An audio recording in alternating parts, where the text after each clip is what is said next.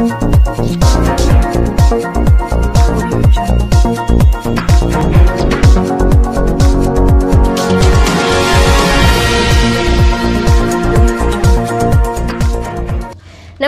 मैं हूँ आपके साथ हर्षिता तोमर और आप देख रहे हैं बीएनबी की लेटेस्ट खबरें।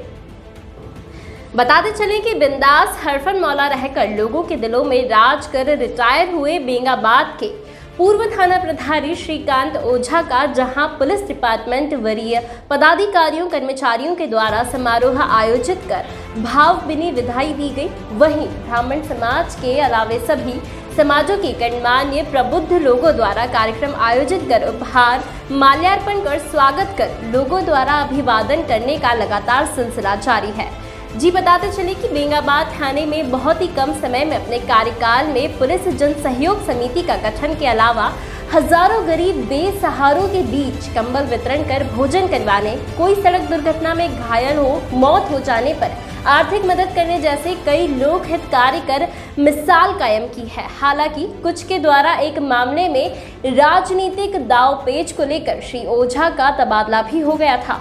फिर भी बेंगाबाद की जनता से इन्हें बेहद प्रेम हो गया था। सही मायने में इनके कार्यकाल में बेंगाबाद की जनता ने दरोगा श्रीकांत ओझा को परिवार के सदस्य की तरह मान लिया था। जो भी, जब भी दरोगा की बात होती थी तो श्रीकांत ओझा का नाम अब भी बेस्ट दरोगा के नाम से ही लोग संबोधित किया करते हैं। आइए देखते हैं कार्यक्रम समारोह कैसे हुआ और किसने क्या कहा। चंचला कुमारी, मुखिया, पति सह पैक्स प्रबंधक, राजेंद्र पंडित आजसू प्रखंड अध्यक्ष महेंद्र मेहता आदि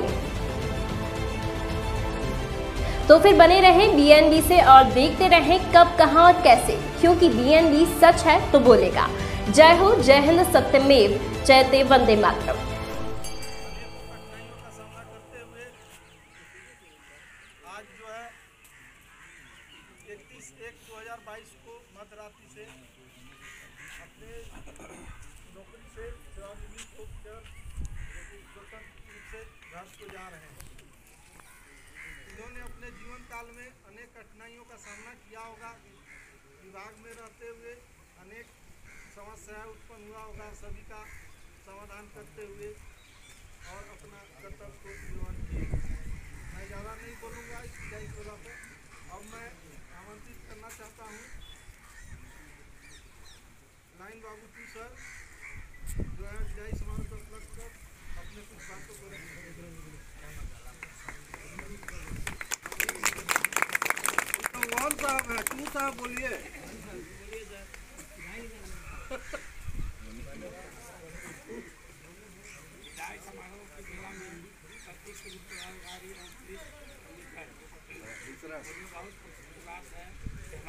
है दो पुलिस पदाधिकारी सेवानिवृत्त होकर जा रहे हैं। मुझे बहुत अपने परिवार में जाकर बहुत अच्छे तरह से अपने परिवार के साथ जीवन व्यतीत करें और ये अपना पुलिस परिवार में पहला पारी को समाप्त कर चुके हैं।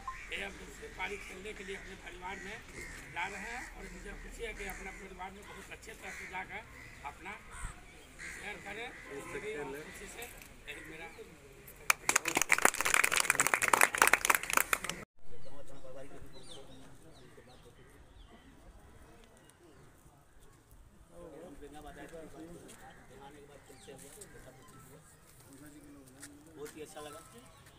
बड़ी खूबी इनमें देखा हमने कि ये त्याग की भावना बहुत रखी है।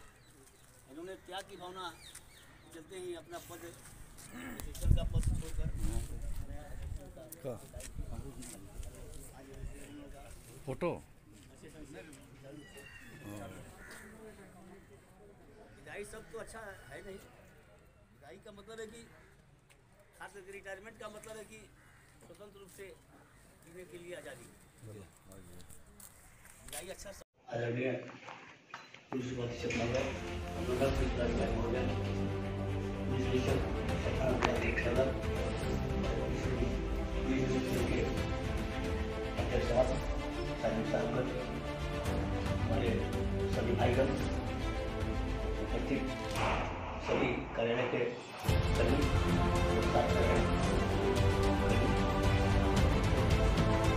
विदाई समारोह तो विदाई तो उतना ही है है।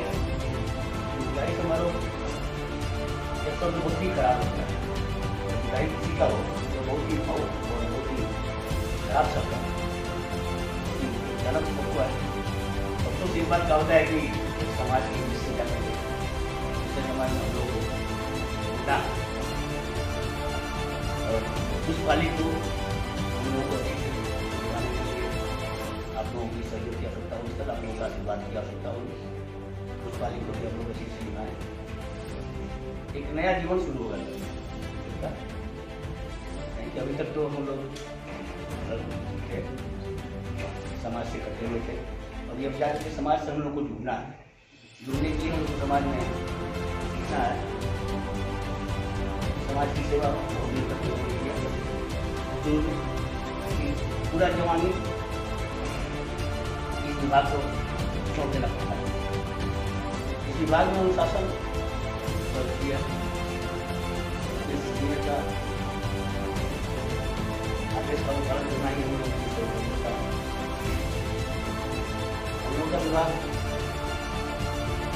विभाग नहीं रह गया, जो हम लोगों ने देखा वर्तमान में विभाग नहीं रह गया है। ऊँची आवाज़ में बोलने पर भी आप पर कार्रवाई हो सकती है। डांट डपट करने पर भी कार्रवाई हो सकती है। हम पर गुजरी है।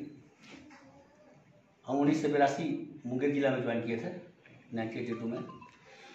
उसके बाद भागलपुर जिला में रहे, नब्बे से पंचानवे तक करीब उसके बाद पलामू गुरुवार प्रभावित क्षेत्र में रहा, हमने पाँच साल करीब पलामू के बाद देवघर आठ साल। इसी प्रकार से बदली कराते कराते फिर पाकुड़ गए हम। पाकुड़ से प्रदूषण पात्र के हम 2010 में गुमला गए थे। गुमला आठ थाना, चार थाना में रहे हम। उसके बाद गोड्डा जिला में ट्रांसफ़र हुआ था। गोड्डा से कुछ राजनीतिक पार्टियों के साथ झमेला के कारण अचानक ट्रांसफ़र मेरा हुआ सी रांची में। मात्र दो महीने रहे हम। उसके बाद धनबाद जिला। धनबाद से आपके यहाँ हम वर्ष 2019 में इस जिला में योगदान दिए थे। थाना प्रभारी के रूप में भी यहाँ हम गाँव, अहलियापुर और बेंगाबाद रहे। सीनियर पदाधिकारियों के अंदर रह करके काम करने में मज़ा आता है। उनका आदेश का अनुपालन करने में मज़ा आता है। बिना उनके आदेश का चलना हम लोग के लिए सही नहीं होगा।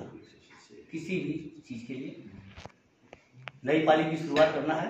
आप लोगों के बीच से आज से हम कट रहे हैं। धन्यवाद। जय हिंद जी। जी नमस्कार। अगर आपको हमारा वीडियो पसंद आए तो हमारे चैनल को सब्सक्राइब करें लाइक करें और शेयर करना ना भूलें। तो फिर बने रहे बीएनबी के साथ और देखते रहे कब कहाँ और कैसे क्योंकि बीएनबी सच है तो बोलेगा। जय हो